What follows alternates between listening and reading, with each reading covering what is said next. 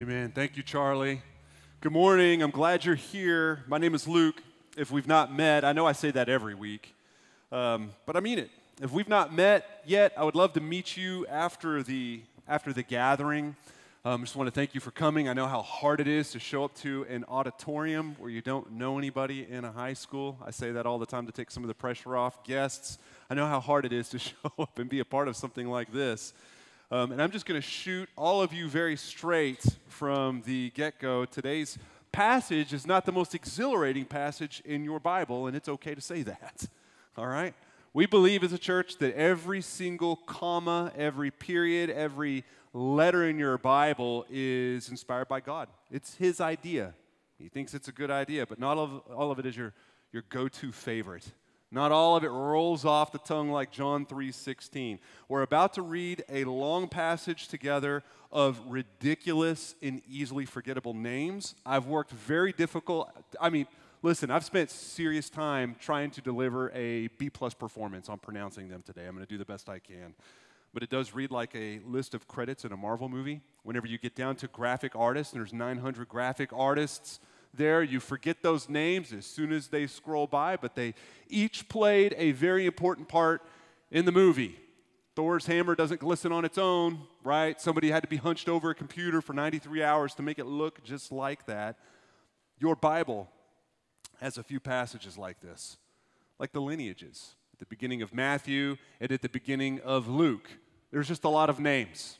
They come and they go and you move on. Or if you go to the very back of Romans, the book of Romans, you have Paul spending this long amount of time saying, Hey, tell so and so I said hi. Hey, whenever you see this guy, give him a high five for me. It's a long list of names in that salutation. And if we don't have eyes to see the beautiful narrative and the principles hiding behind those passages, we lose the moment entirely. It's okay to admit you're not going to memorize this list of names that we're going to read today. It's very possible the majority of this room has never even read this part of their Bible, but it is profitable for us.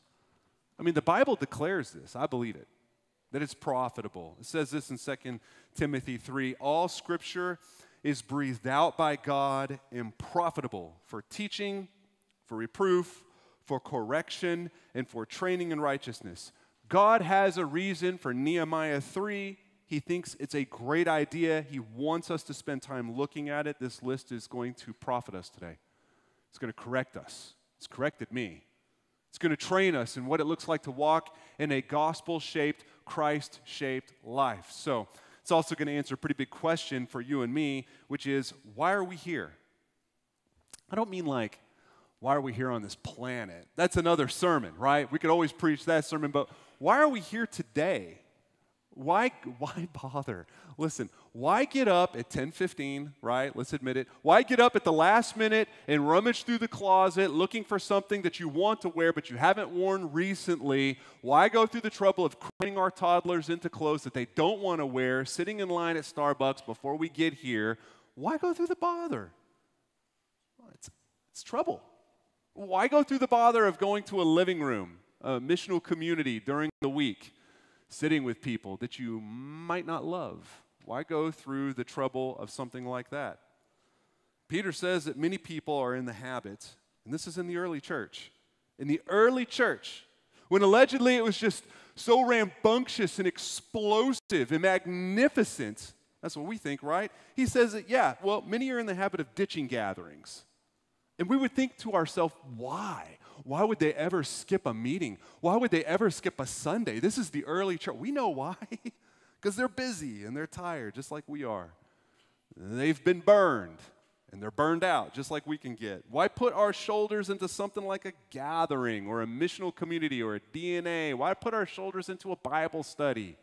Anything really, when it just barks at us that it's not going to give anything back. There's actually a group of people in this passage today that's going to ask those very same questions, but they're going to come to a different conclusion than you and I are. They are shaped not by the gospel, but they're going to be shaped by their feelings, their comfort, their image. But let's look at this passage today and let it do all the work for us, even though it's going to look on the surface like it can't do any work for us. Let's look at Nehemiah 3.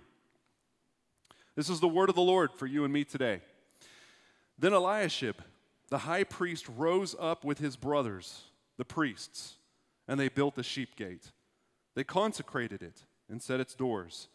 They consecrated it as far as the Tower of the Hundred, as far as the Tower of Hananel. And next to him, the men of Jericho built. And next to them, Zaccur, the son of Imri, built. The sons of Hassenaah built the fish gate. They laid its beams and set its doors, its bolts, and its bars. And next to them, Meremoth, the son of Uriah, the son of Hakkoz, repaired. And next to them, Meshullam, the son of Berechiah, the son of Meshezabel, repaired. And next to them, Zadok, the son of Baana, repaired. Hey, how am I doing so far? Pretty good? Y'all don't know. Y'all don't know if I'm doing good or not. And next to them, the Tekoites repaired, but their nobles would not stop to or stoop to serve their Lord. That's going to be important for us right there. Did you notice the abrupt pivot? Everyone's throwing their weight into this. Everyone's putting their, their shoulders behind their work, except for these guys. These guys are saying, nah, we're good. We're good. Let's keep reading. Joiada, the son of Paseah, and Meshullam, the son of Besodiah, repaired the gate of Yeshanah. They laid its beams and set its doors, its bolts, and its bars. And next to them repaired Melatiah the Gibeonite and Jadon, the Meronothite, the men of Gibeon, and of Mizpah, the seat of the governor of the province beyond the river. Next to them, Uzziel the son of Harhaiah, goldsmiths repaired. Next to him, Hananiah, one of the perfumers repaired, and they restored Jerusalem as far as the broad wall. Hey, noteworthy, he makes perfume for a living. A perfumer. I mean, this just underscores what we've been saying. These are ordinary people. They didn't have YouTube figuring out on how to build a gate or anything like that. These are people that do not do construction for a living. He makes perfume. Probably does a great job, probably not so helpful for him in this moment, but he's going to learn how to do it, right? Verse 9. Next to them, Rephaiah, the son of Hur, the ruler of half the district of Jerusalem, repaired. Next to them, Jedaiah, the son of Heramoth, repaired opposite his house. And next to him, Hattush, the son of Hashabneiah, repaired. Malchijah, the son of Harim, and Hasshub, the son of Pahath Moab, repaired. In another section of the tower of the ovens. Next to him, Shallum, the son of Hallohesh, the ruler of half the district of Jerusalem, repaired. And he and his daughters Right there, by the way, be a great joke to talk about how a man would build a wall with his daughters, but I won't tell that joke because it wouldn't be classy, right? but I always find that little part to be a little interesting. You see these different divisions. Some of them are by names, some of them are by towns, some of these divisions are by what they do for a living. You have craftsmen, goldsmiths, perfumers. Some are going to be by religious profession. Some are going to be Levites. Some are going to be priests, on and on. These different divisions for different reasons. Even this guy repairing with his daughters. You know, it's also important to maybe point out that for every name mentioned, there are dozens, maybe hundreds of names that are not. There are over 40 groups of workers named in more than 40 individual projects on this wall. It moves in a counterclockwise manner around the outer wall of the city in such good degree of detail that archaeologists heavily leaned on this for the initial surveys and work around Jerusalem. It's so accurate. But what's important is that it took the cooperation of hundreds and hundreds of unnamed people also not gifted in construction. Also, doing things like selling insurance, also doing things like making shoes. They just did things, but this isn't what they did. Let's go back into our passage, verse 13. You're doing great, by the way. Hanun and the inhabitants of Zanoah repaired the valley gate. They rebuilt it and set its doors, its bolts, and its bars, and repaired a thousand cubits of the wall as far as the dung gate. That means exactly what you think it means. That was the gate that they used to take all the trash and boo boos outside the city. So whoever drew that short straw drew a very short straw.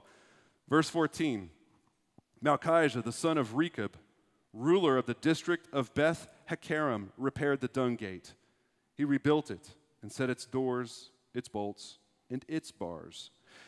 And Shallum, the son of Kol ruler of the district of Mizpah, repaired the fountain gate. He rebuilt it and covered it and set its doors, its bolts, and its bars.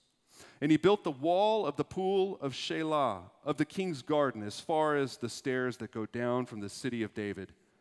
After him, Nehemiah, the son of Azbuk, ruler of the half district of Beth Zur, repaired to a point opposite the tombs of David, as far as the artificial pool and as far as the house of the mighty men. That's not the same Nehemiah that this book is named after, by the way. Hey, isn't it interesting that Nehemiah is the least weird name that we've read today? And that's a very weird name. Verse 17 After him, the Levites repaired. Rehum, the son of Bani. Next to him, Hashabiah, the ruler of half the district of Keilah, repaired for the district. After him, the brothers repaired. Bavvai, the son of Henadad, the ruler of half the district of Keilah. Next to him, Ezer, the son of Jeshua, ruler of Mizpah, repaired another section opposite the ascent to the armory at the buttress. After him, Baruch, the son of Zabbai, repaired another section from the buttresses to the door of the house of Eliashib, the high priest. After him, Meremoth, the son of Uriah, the son of Hakkoz, repaired another section of the door of the house of Eliashib to the end of the house of Eliashib. After him, the priests, the men of the surrounding area, repaired. After them, Benjamin, and Hasshub repaired opposite their house. After them, Azariah, the son of Maaseiah, the son of Ananiah, repaired the beside his own house. Now, this is, you've already seen it a few times, you're going to see it a few more times. People are repairing parts of the wall that are right behind their backyard. They walk out their master bedroom, take a few steps outside, and there's the wall and they're going to repair it. Don't you know they're tightening those screws a little bit more? Don't you know that they're making sure everything is level? They're making sure that everything is perfect because when the barbaric hordes come over the wall, which they're fearful that that could happen, they're going to make sure it doesn't happen in their backyard. You just build stronger things when it's close to you. That's a principle. After him, Binnui, the son of Henadad, repaired another section from the house of Azariah to the buttress and to the corner. Palal, the son of Uzziah, repaired opposite the buttress and the tower, projecting from the upper house of the king at the court of the guard. After him, Pedaiah, the son of Parosh, and the temple servants living on Ophel repaired to the, uh, a point opposite the water gate on the east in the projecting tower. After him, the Tekoites repaired another section opposite the great projecting tower as far as the wall of Ophel. Above the horse gate, the priests repaired, each one opposite his own house. After him, Zadok, the son of Immer, repaired opposite his own house. After him, Shemaiah, the son of Shechaniah, the keeper of the east gate, repaired. After him, Hananiah, the son of Shelemiah, and Hanun, the sixth son of Zalaph, repaired another section. After him, Meshullam, the son of Berechiah, repaired opposite his chamber. After him, Malchijah, one of the goldsmiths, repaired as far as the house of the temple servants and of the merchants opposite the muster gate and to the upper chamber of the corner. In between the upper chamber of the corner and the sheep gate, the goldsmiths and the merchants repaired. Now, why do we go through all the trouble of reading that, right? There's a beautiful principle in there it hits us on the nose. You probably already saw it. We're, we're different people, functioning in different roles, in small groups, in large groups, individually, but everyone has a part to play in this beautiful moment. We are a different people working in different ways, at different spots, at different times, but we're doing it for one single purpose we're building a wall. Now, them building a wall looks a little different than how we build a wall. And we've talked about that in weeks past as we've kind of started to walk in through the shallow end of the book of Nehemiah. Them building a wall is to build a distinctiveness between them and an outside world that looks very different. When we build a wall, we're building a church, a church full of disciples that, yes, look different than everyone around. We see different divisions, we see everyone throwing their weight around, but different people single purpose. That's the big thing you need to walk away with here. Had you gone into a time machine, let's say you step into a time machine, you go all the way back, you catch them in the middle of this big construction project, and you hear the, the sound of tools hitting the rocks, you smell the sawdust that's being made as they make these gates, and let's say you find a 15 year old carrying water, and you were to stop them and say, hey, wh- what is your role in all of this? They might say, I'm carrying water because it's hot today. And I've got about seven family members that are working on the left part of that gate. We don't really know how to make the gate, but we're really, really good at putting the stones up to make it ready to receive the gate. So that's what we do. And we're all doing this with other families all the way down the line. You read them all like I did, 42 of them, and we're all building Nehemiah's wall. It's an obvious principle for you and me, especially when we think of how we build solo, in groups, and as a whole, right? Sundays, today, might be what we would call a large group project. This accomplishes something we can't do in our living rooms or something we can do on our own. This moment has different potential, right? Different potential. This moment requires individuals and smaller groups to lead and to serve, even for all of this to function the way that it does. Some of you, as you pulled into your parking lot, you wouldn't have known this, that at 8:30, people are showing up here. That we've got one guy, an individual, Matthew Ludy, who's setting up the entire kids' the whole wing. It's like a bajillion classrooms now, and there's 13 banners so we don't put the, the, the, kids in the wrong room, right? So we've got all these banners and toys that are put out and everything ready. He is an individual doing something very specific, but he's part of a team. He's part of, a, of, of our kids' community team, which has a team leader, and all of these women who are back there right now crushing it, excited to be there, excited to throw their shoulder into it earlier before we even stepped out on stage. I'm back there in the green room with 14, I counted 14 people there representing our production, those back there making all of this stuff happen on the screen or on YouTube, all of those that are going to be up on stage later leading you. We're all together praying for you, praying for this moment. Teams, small groups. But this, this is our opportunity to worship together. As we move through a liturgy, as Will comes up and leads us through announcements, a call to worship, receiving a sermon, meditation, communion, singing, prayer, giving, celebration, all of it together. It's such it's so much more than the sum of its parts. God truly works in moments like this. He's worked in some of your hearts in this moment. He's worked in my heart in this moment. This is what it says in Hebrews 10 24. It's a beautiful passage. It's such a good passage, and it's a good passage for us. The author of Hebrews says this, and let us consider how to stir up one another to love and good works, not neglecting to meet together, as is the habit of some. Boy, it doesn't take long for some habits to set in, right? But encouraging one another, and all the more as you see the day drawing near. That's what's interesting about this passage. All the more as we see the, the day, the end of all ends, approaching us. You see, what this is, is also, it's, it's many things, but it's an outpost of what heaven will look like. The gathered saints loving each other, stirring each other up, celebrating next to each other, singing, praying, adoring Jesus together. We're a picture of that. One guy, Josh Vincent, says we leverage the Lord's day to anticipate the last day. There's value to this, this moment. It achieves what the missional community or the community group or the life group or the small group cannot. It serves a totally different purpose. Living rooms accomplish something that this room cannot. Agreed? For those of you who are in one, you might look at that as a smaller tribe, a family, right? A group of tradespeople, maybe, just focusing on one section of the wall. Our roles change a bit, but guess what does not? The main goal. That doesn't change at all. Now, in those smaller moments, the proximity contracts, but our ability to know each other expands. Uh, trust, it travels faster in those moments. Uh, follow up is steadier, it's much more consistent. We're able to share our wins and high five each other. We can weather each other's pains, we can mourn each other's losses, and that's very important when you're building something beautiful like a family. Even mission is shaped differently. I mean, whereas we all together, with our pooled resources, our pooled connections, we're able to support church planting across the county and in Thailand, even, right? Your missional community can't do that. Not well, not as much as we're able to do it, right?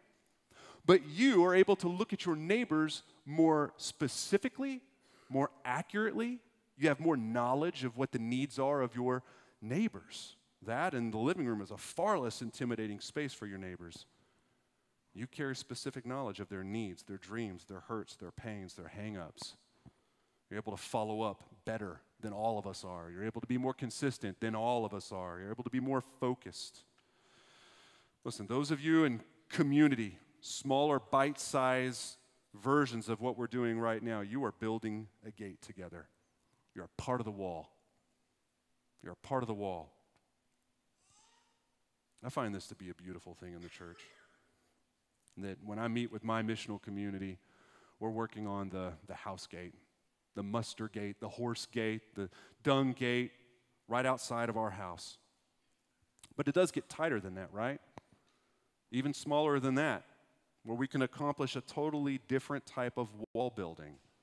And that's where we are face to face, a little less shoulder to shoulder, working on a wall as a large group of seven or eight families, but maybe just two or three or four of us working together. The role changes again, but then again, the overall goal does not. Still building a wall. Again, the proximity contracts even more. There's just a few of us. But then again, our ability to know each other deeply expands. I've got a Friday morning group that I meet with every Friday. Well, six out of eight. You know how it is, right? We meet at 6:30 in the morning. This week, everybody was out of town, but two of us. So two of us showed up. We had great conversation. I have conversations with those guys it would be inappropriate to have up here. Wouldn't fit, wouldn't make sense. It can get real, it can get real, real fast. It's locked up in confidence. That is also by design. We can accomplish in that moment what you can't accomplish in any other moment. Definitely not up here. This is where we learn how to be men. We learn to parent. We learn how to be good husbands to our brides. We learn how to love Jesus with deep passion. We make fun of each other. We laugh. We encourage each other. We follow up. They know my pain points. I know theirs. Listen, one meeting probably isn't earth moving for all of us. It might not even be earth moving for any of us. But you stack 83 of those meetings together, you will look back and you will say, I've been shaped, I've been influenced, I've been equipped, I've been stirred to love in good works. Again, the big idea different people in different roles, in different moments, one shared single purpose. This answers one of the biggest questions we've carried into the book of Nehemiah, and that is what does it mean to build or do God's work in God's way? One of the answers is to do so connected to be connected as we do this. 1 Peter 2. This is a cool passage.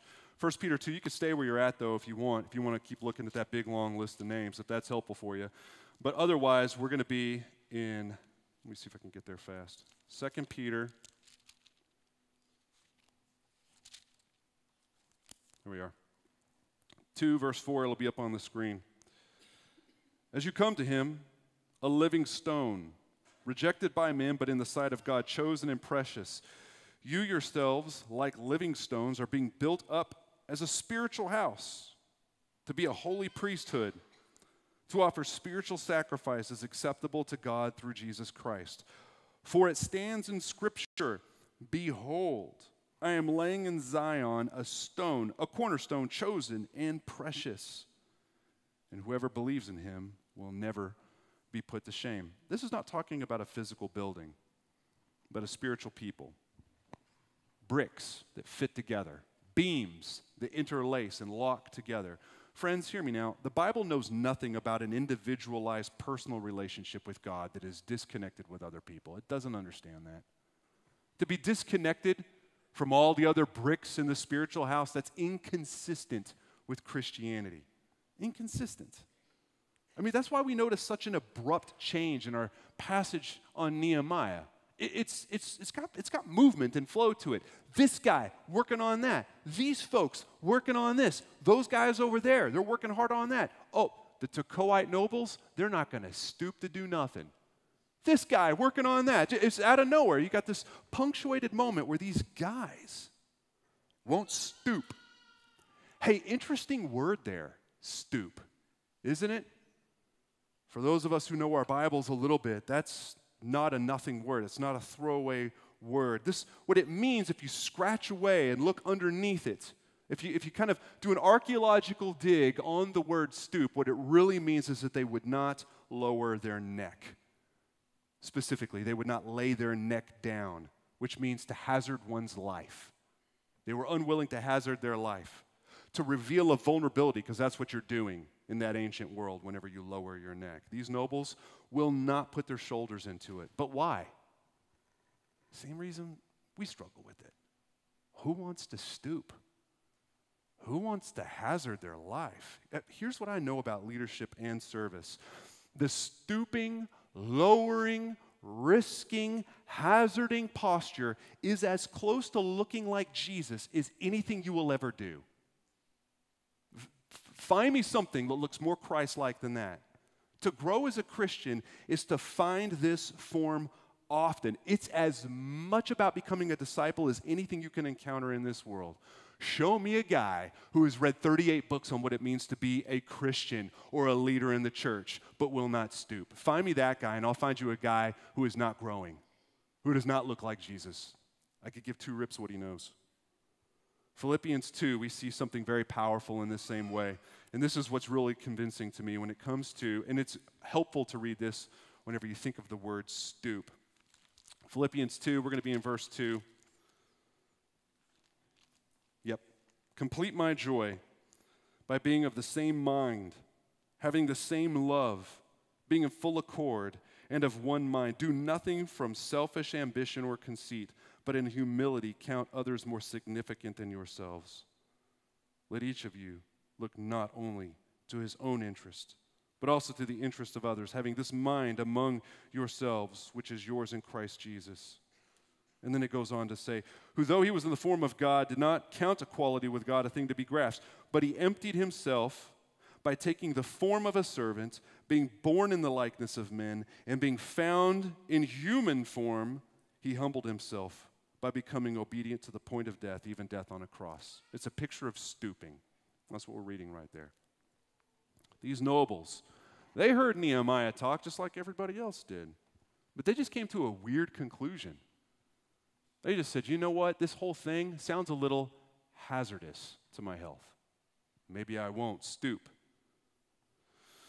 Listen, people today are still coming to the same conclusion. Here's my big question for you, and it's only because it's a big question I have to ask myself. Are you committed to the work and the people of the gospel? Are you committed to it? It's a fair question. Again, I have to ask myself this question all the time How committed am I? How committed am I? I mean, listen, after 27 years of being a Christian, I know how to show up to things without lowering my neck. And you do too. I know how to be present in community and not hazard my life. I can refuse to put my shoulder into it and just make it look like I'm putting my shoulder into it. You want to know why? Because I can be tired. I can be busy. I could definitely be burned. I can definitely be burned out. I'm not naive. There's a self preserving Tekoite noble in me, tempting me to withhold my soul, just like you a little voice in your head that whispers, Don't give so much. Why you, you don't have to tell them everything you're struggling with. You don't have to, you don't have to give so much. Give a little bit less. You don't want to, you don't want to burn out, do you? You don't want to be hurt, do you? Conserve. Self-preserve. Peter said, many became of the habit of abandoning gatherings in the name of what? Self-preservation. It's interesting. If you were to walk into the past, again, take a time machine back there, again, you hear the tools hitting the rocks, you hear the wood being sawn. Had you pulled somebody aside and said, Hey, what is your role here? And they looked at you and said, I don't know. I don't really know. You would know right there in that second that they have no idea the meaning of the moment, no grasp of the larger activity that's going on, the larger purpose. They'd have no interest of being involved. It would seem odd to you, it would seem inappropriate to you. The American church is bloated with these Tekoite nobles. It's honestly boring that so many miss the urgency and the value of the moment at hand. Years ago, before COVID, maybe many years before COVID, I went to Texas once and I went to church with an old friend. I'd known him for 20 years. It was when I was raising money to plant this church, so that tells you how long ago it was. And I went to church with him. I'm there, I'm not here. And on the way there, his family's going in a different car. I'm going with him. And I said, So, hey, man, so what are you, what are you doing with these guys, this church? How are you involved? He goes, What do you mean? And in my mind, I'm thinking, What do you, what do you mean? What do I mean? I mean, are you, are you on a team? Are you in a pipeline? Are you a deacon? Are you an elder? I mean, are you part of a prayer group? Are you in a missional community? What are you, what are you doing? He goes, I mean, I'm, we're going there on Sunday. I mean, it's, we're going to be there on Sunday. I look confused. And he saw the confusion on my face. And that's because I knew him back in the day when his neck was lower, when he hazarded his life, always had a trowel in one hand, always making disciples, always risking his finances, always casting the vision for mission to the city. He knew the urgency of the moment, he knew the value of the moment, and now, not so much. Now he's making about 45% of Sundays, always the early service, of course, because the parking's easier and you don't miss kickoff.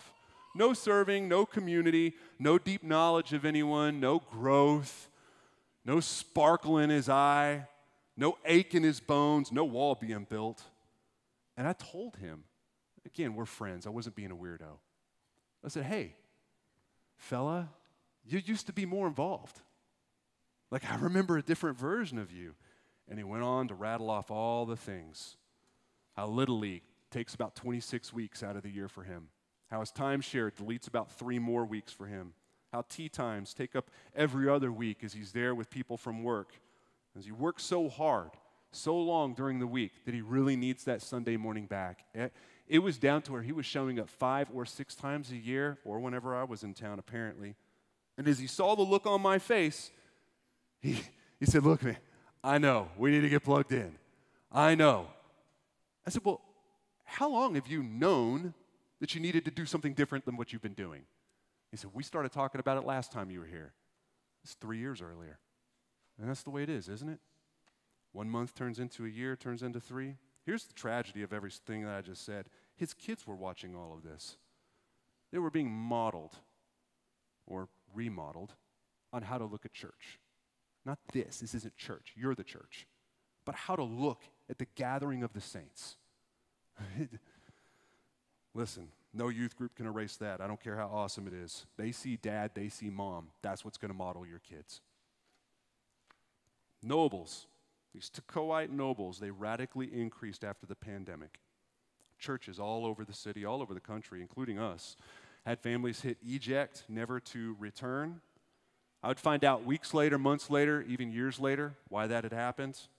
And, and I got the same I got the same discussion that every other pastor that I knew at the time did. Hey, their time had been relocated.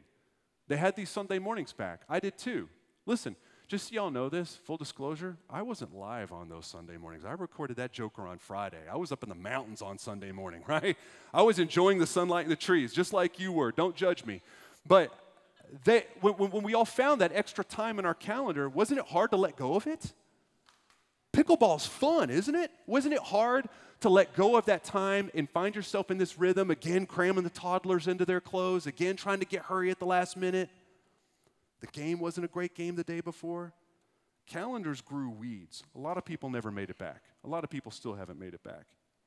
Others told me they just found better preaching online and they could stay in pajama mode. And that's true. That's true. You can stay in pajamas, you can eat cinnamon rolls, and it's awesome, right? Because you're not you're definitely not setting up 13 banners. That's for sure. And there's better preaching online, right?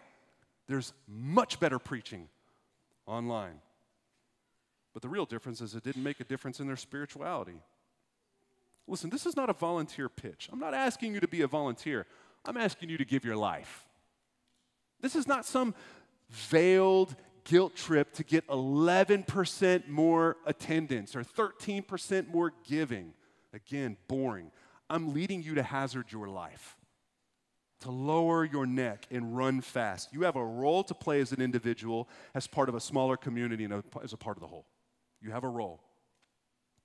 But we all know the pain is not just calendar pain, right?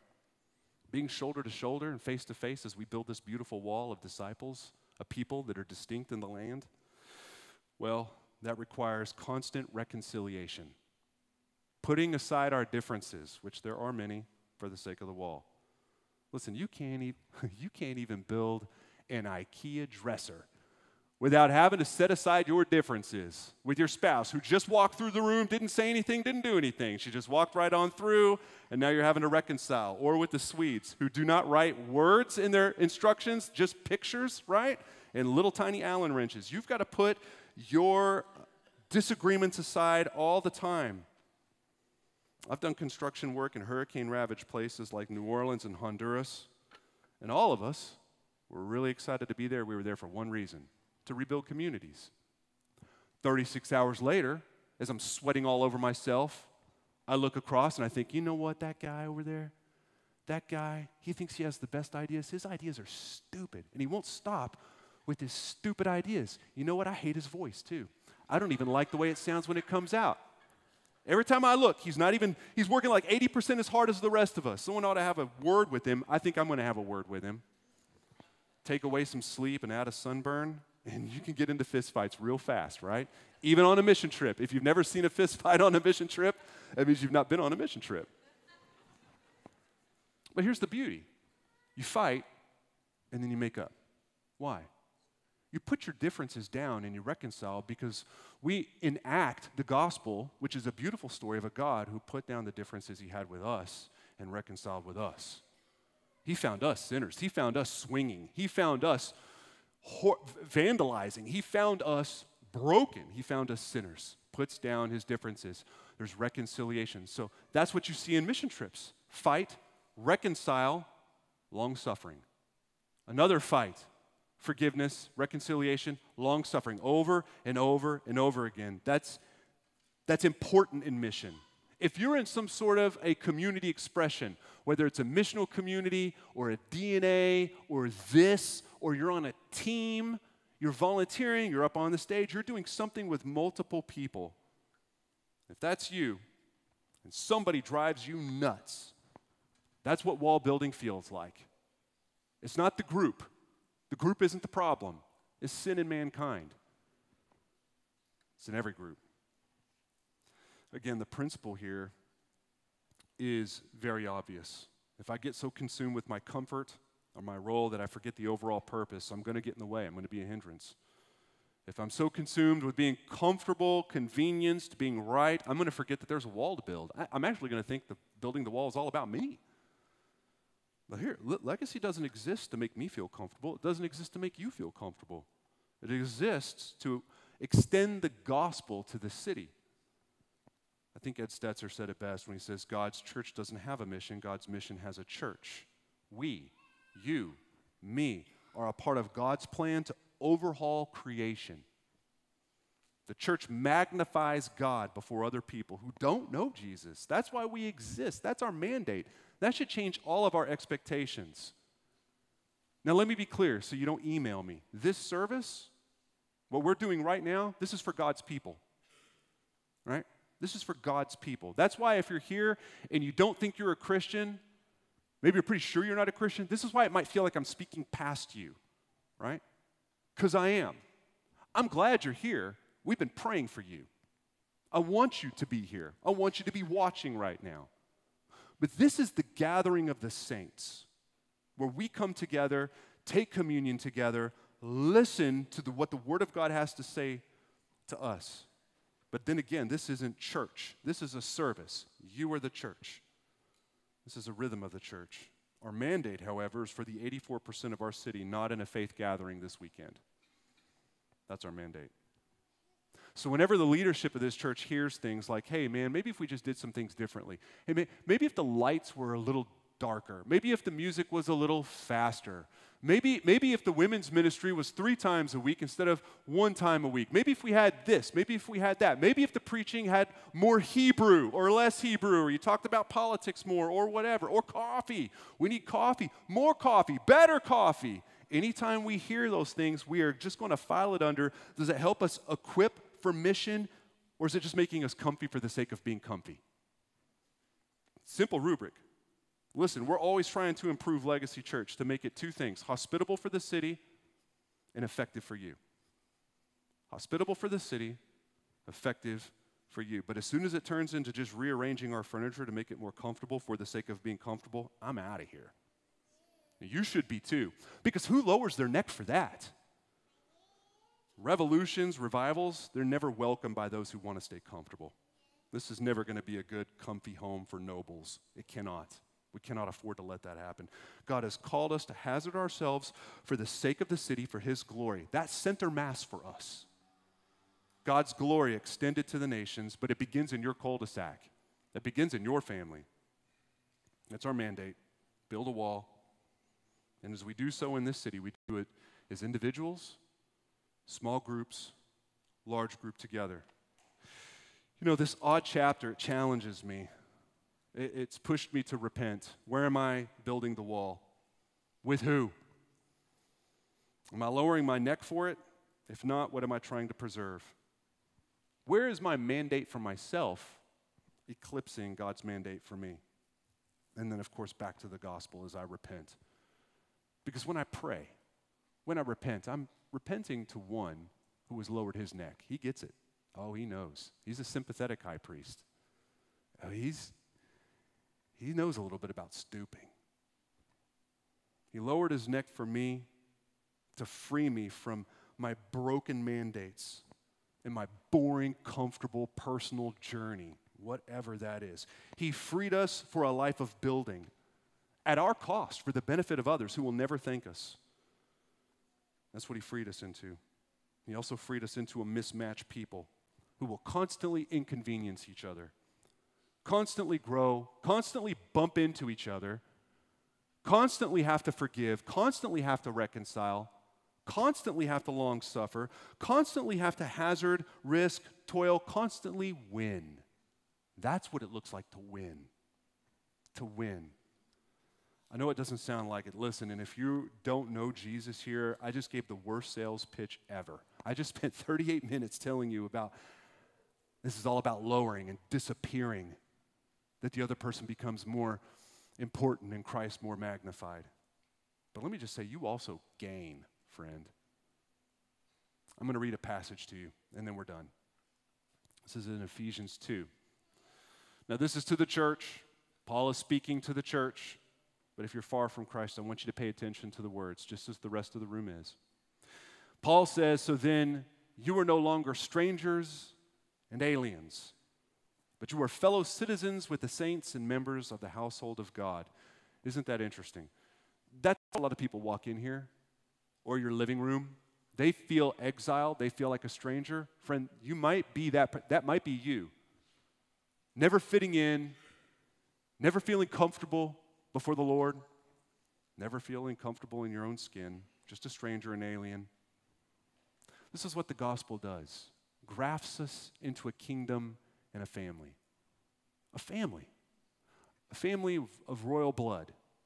A family where we sit at a table, as I always say, a table we really have no business being at, in a seat that will never be taken from us, with people that have loved Jesus from time immemorial, in a new kingdom with a new king and a new currency, and, uh, with new traditions and a new banner that flies over us. And all of this is built on the foundation of the apostles and the prophets, Christ Jesus himself being the cornerstone, in whom the whole structure being joined together grows into a holy temple. It's all on Christ. The church isn't built on a denomination. It's not built on a single church. Listen, Legacy Church is going to come and go like, like grass that just grows and disappears, like every church. It's not built on the shoulders of a personality it's built on the shoulders of Christ Himself, being the cornerstone, in whom the whole structure, being joined together, grows into a holy temple in the Lord. In Him, you also are being built together into a dwelling place for God by the Spirit. Go ahead and stand with me. We're finishing now. If you're far from Christ, this is my admonition to you lower your neck. Lower your neck. It simply means to make yourself vulnerable before the Lord, the one who stooped all the way to death. For the rest of us, we have repentance as we sing and as we pray, and we're going to take communion together. So, listen, we're going to do this in a moment. As a church, if you're not